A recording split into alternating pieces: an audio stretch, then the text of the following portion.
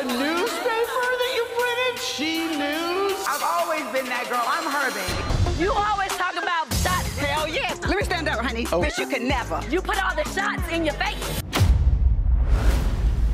It's Justin Diego back with another binge-worthy video. And today, y'all, we have to talk about part one of this shady Real Housewives of Atlanta season 15 reunion. Now let's get into it. Cause period, it was too good. Okay, we all watched the RHOA season 15 reunion, so we already know what's up.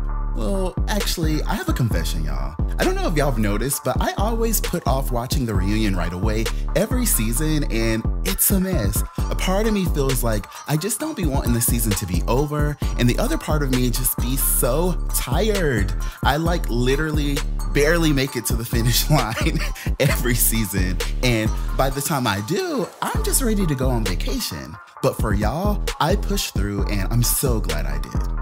Apparently, the rumors of Bravo thinking about recasting the show were definitely floating around, and I feel like it lit a fire under everybody's behind because they let us have it. I don't know if they even had time to do their little introductions this year. Y'all know how Andy be like, oh, hey Sheree, you look lovely. Is that a new nose? And oh, hey Kandi, how's everything at the OLG? Is everybody safe? No, no shooting. Okay, right. Y'all know how it goes, but did they even do that this year? You gotta get your lick back. All I know is this time they got right into some things with Sheree Whitfield launching a full-on attack against Kandi Burruss that had me on the edge of my seat. If you want to cover me, come with the real. You look You much can't sit with me, better. honey. Y'all, I always thought that Kandi and Sheree were like actually real friends in real life, so it's wild to me to see how much their friendship has completely fallen apart this season.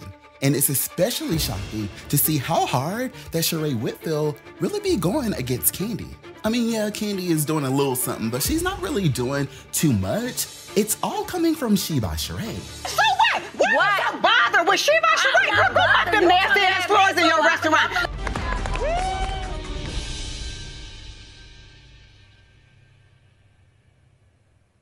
Wait a damn minute. And speaking of the She brand, Sheree left us all shook when she pulled out one of the funniest and most iconic receipts ever when she debuted She News at the season 15 reunion. Is this a newspaper that you printed? She News? I wish you would print some fashion. I don't know who has been helping her with her reads this season and her receipts this year, but baby, She News is iconic. I hate that it seems to be like almost all about Kandi because I love me some Kandi, but y'all, it was so good. And the camera just couldn't get enough of zooming in on that shady She News newspaper. And it's like they wanted us to see every shady article about Kandi.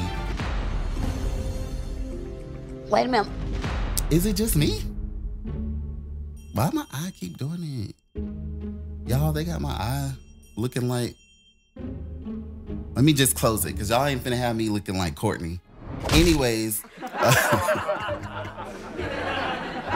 before we get into more, before we get into more drama, I think this will be the perfect time for me to tell you guys about today's sponsor. Scentbird is a fragrance subscription service that lets you choose from over 600 brands, including some of the fancy ones like Prada, Gucci, and Versace.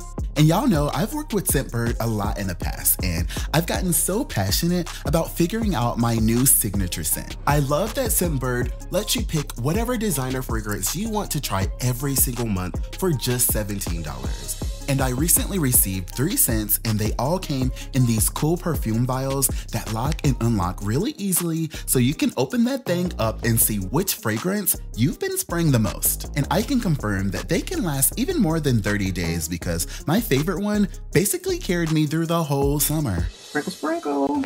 I got Modern Gentleman, which smells really, really good.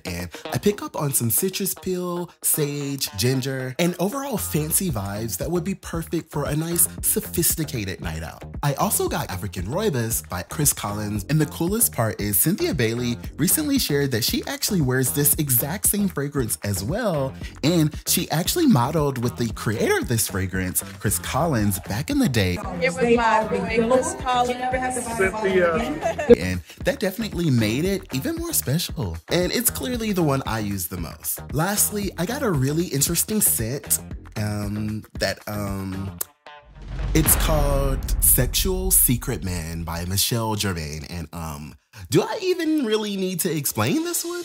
Go ahead and tap the link in my description to check out Scentbird for yourself and use the code BingeWorthy55 to get 55% off at Scentbird. It'll be just a little over $7 for your very first month. And it's available all over the entire US and Canada. Thank you so much, Scentbird, for sponsoring today's video. Now, let's get back to the drama. And y'all already know the comments were off the chain with Housewives fans trying to decide who ate who up, hollering.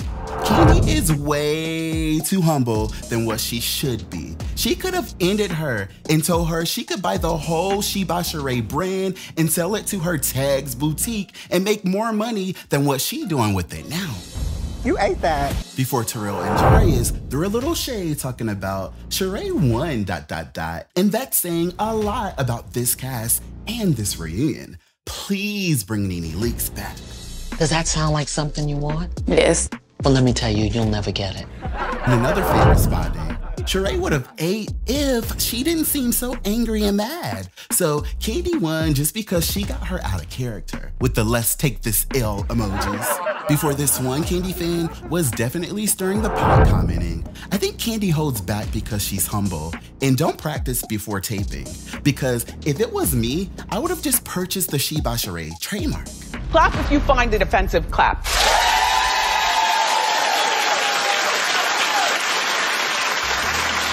And this last comment took me all the way out talking about. Kandi said, draw four, skip you, reverse back to me, uno, uno out. I love it. Switching gears a little, we have to talk about how Marlo Hampton didn't do too much, but she was kind of eating the girls up so effortlessly at the same time. Now, I remember in the trailer when Kenya Moore served Marlo papers at the reunion, I was like, wait a minute, this is way too much. But if you actually watch the reunion, you already know that it kind of fell a little flat. Here is your subpoena because you have to. Can you hand that to her? Yeah, that was I don't want to go to jail. I know. So you can come and speak your piece. Y'all, ain't no way Kenya fumbled this potentially iconic moment like this. Well, I mean, it's blank. Oh no no! Oh, It's then, they not- printed, oh, then they printed the wrong one. Okay. Andy and Kandi was sitting over there hollering, and I couldn't do nothing but put my head down over here and secretly chuckle right along with them because, girl, what? I just hate that all my hard work has gone to waste. Now, we didn't hear too much from the friends of the show, but when Courtney came out, she did give an update about how things are going with them clearing Marlo's record. It's going well, actually. Yeah, the Yeah, waiting we're moving process. along in the process. And I just want to say, production, y'all are so shady for the way that y'all panned that camera right on over to Kandi when Marlo brought Phaedra's name up. Phaedra even is helping as well. Oh, wow. Okay, they were sisters. Oh my God, it is so shady. But I'm kind of glad they did because if we were all there, you already know that we all would have turned our heads together to look at Kandi whenever we heard Phaedra's name. You can stop saying that shit. I know that. I ensure you're the right one for me. Didn't I see you involved? Nobody do it like this. Bag, lucky charm that wrist. This is real life. I need someone that. Nah, wait a minute. You need someone that. Uh, pick up the phone every call. I can turn the crib to a mall. I'm really not mad at the way that this reunion played out, y'all. I feel like rent was due, and the girls were definitely not trying to get their peaches snatched, and that made for some really good TV. It was like so good, and it looks like we'll get even deeper into Drew Sidora and her messy divorce in part two, and y'all already know that I will be right here, tuned in, and ready to spill the tea. You're shocked?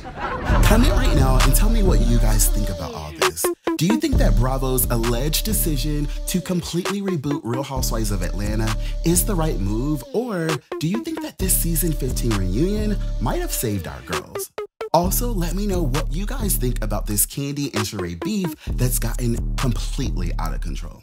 Thank you so much for watching this video all the way to the end. And thanks again, Scentbird, for sponsoring today's video. Y'all go ahead and check out the link in the description box below so that you can start smelling fresh today. All right, thanks again for watching. I will see y'all Shady News. Now, actually, Shady She News contributors on the next one. Not Shady News. You gotta have the she. She News.